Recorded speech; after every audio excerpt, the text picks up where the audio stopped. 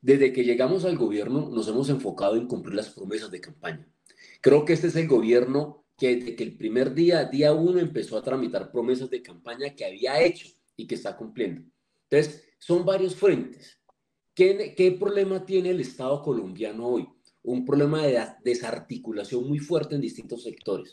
Entonces, uno, las oficinas tienen que tener funcionarios y personas.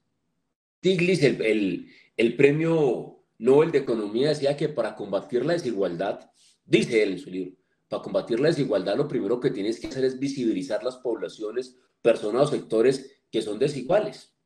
Uno de los factores de eliminar desigualdad es darle interlocución a esas comunidades y sectores.